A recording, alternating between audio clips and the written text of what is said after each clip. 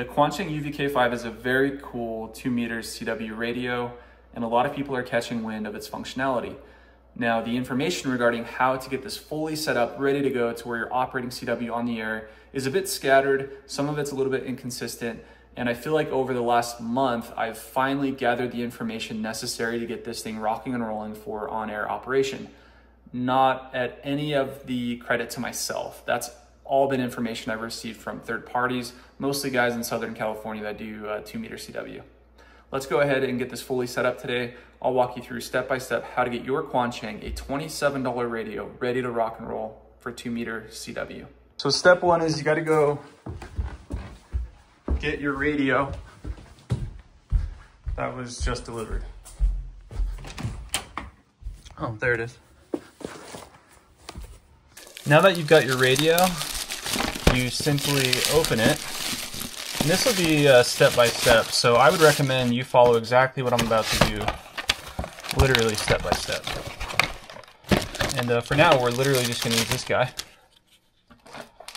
And so here's one of the, this is going to be the NR7Y mod, so I'll try to credit the people that gave me the information. The NR7Y mod is taking that guy off, and in that video, he removes this nut. Don't touch that nut. You, you will ruin your radio if you try to take pliers to this nut. I've broken a couple, I've had friends break it. Just remove this, take it out. This little plastic piece will come off. Just put that to the side. Try not to rip off the red and black cable. So now you're gonna use the same type of a, kind of a thin flathead that you use to get the, the uh, PCB out. You're gonna push that down and up. Now that's ready to come free and get this open. I'm actually going to go to my phone now and just zoom in on specifically what we're going to mess with. So we are going to remove this resistor. So note this screw and then note this tiny resistor. You can barely see it. Let me see if I can even zoom in even further. It's this guy. And then we're going to use this. I actually need a voice over here because I screw up in the video indicating that you should use this blob here at the top. You actually use the one right beneath it. So I use a little piece of 28 gauge uh, silicone wire. You can find this on Amazon. And uh, I use it for my counterpoises for my KH1, but it'll work perfect here. So note the top audio plug.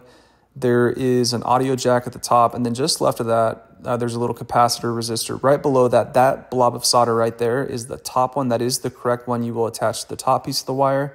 And then here I'm indicating falsely again what blob to use. You'll actually use that one beneath it. So I'll circle it right here so you can see which one to attach it to.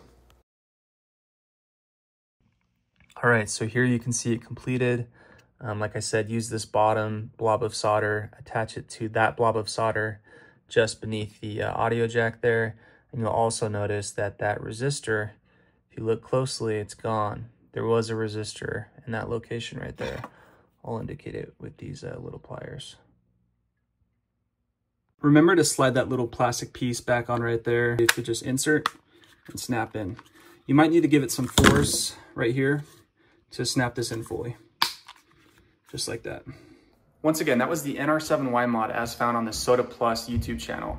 You're gonna go ahead and reassemble the radio now, put the push button back on and the antenna. Let's go put the firmware on this guy. Mandatory, you must have a Baofeng cable.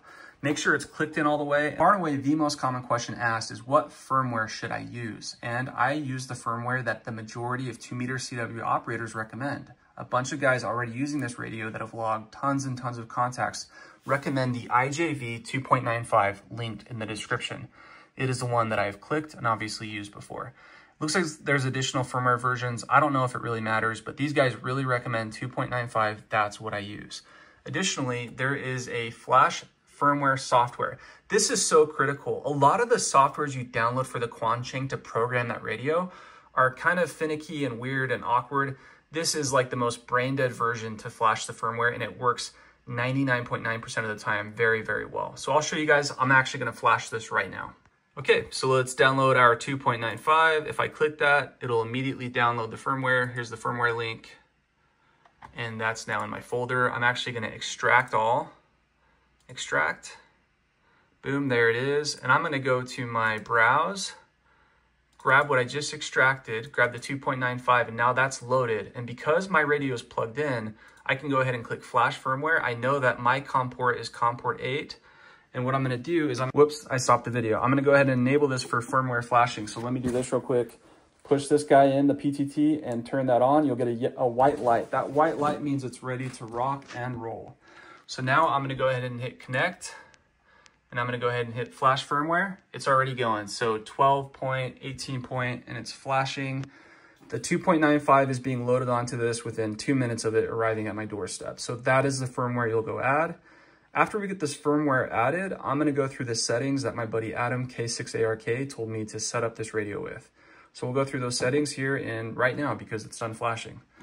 So let me turn that off again and show you guys. So IJV 2.9, there you go. Let's go through the settings. So to go to the settings, you hit the menu here. The first one, we're gonna go ahead and turn our squelch all the way off. And we're actually gonna program those squelch buttons to be quick access buttons here on the left. Then we'll go to mode and we'll hit CW.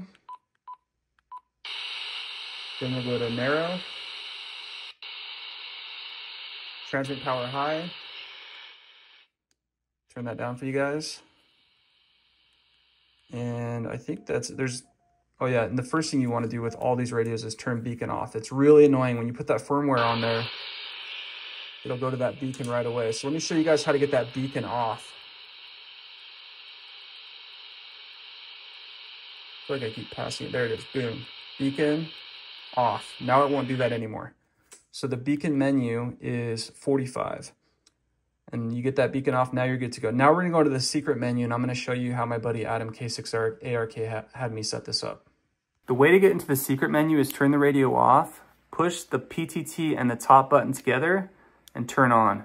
It'll say release all keys, release, and now you're in the secret menu. Now that we've enabled the secret menu mode, we can go into the menu and we'll have additional settings we can adjust. So I'm gonna go ahead and pull these up and I'm gonna link in the description these specific settings that I'm including. So you'll notice uh, side 1S is monitor. We're actually gonna change that to, that's a short push. We're gonna change that to squelch increase. Then we're gonna go to long press side 1L. That's this button right here. And we are gonna turn that to monitor because you wanna have your monitor enabled when you're operating. Then the short push is going to be squelch decrease. And then long press is going to be our CW CQ call, which is really cool. It's a very nice feature that this has a CW message. So then we'll go to 56, I believe, and I'm going to put my call sign in. I'm going to make you guys watch that because it's actually really easy to do. And do is hit this a couple more times. It's really confusing. So just hit this a couple more times and you're out. And now when I hit exit on this, Do you notice how I just held this down? Because we just programmed if I long press this guy, that's my CQ call. Let's go, baby. So now I'll show you guys those secret menu options I just did. So the first thing I'm gonna do when I'm operating is I'm gonna enable monitor, long press it. So now my monitor's on. That little M at the top, that's my monitor. And you notice if I short press, watch the S1 in the top left. Two, three, four, that's my squelch. And I can lower it here. So my monitor's on, I'm actually ready to operate CW. Let's go to the fun part. I'm gonna show you guys how I rigged this up with a key. The fact of the matter is I love the Quansheng because it's a handheld CW radio in a complete package, built-in speaker, built-in battery, uh, and the only thing that's lacking from the KH1 is a built-in key. So I've chosen to do that. A lot of people may not like it, but for me, it's a really, really cool feature. I went ahead and did some, uh, this is 3M Dual Lock. They actually make some that's black and I think thinner than this. This came out a little bit thick. But I just place this here, and then I purchase a CW Morse. This is the Nano QRP. And what I actually do is I just draw with a little Sharpie. I just outline the base because the base is screwed on here. I do want to keep that base because if not, it actually exposes the internals.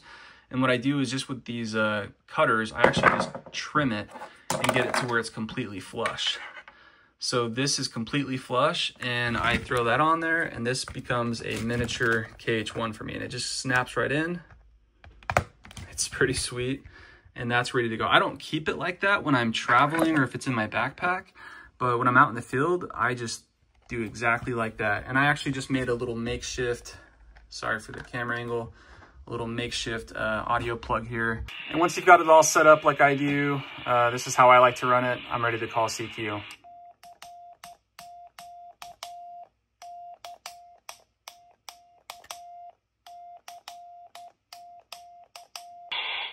Thanks for watching.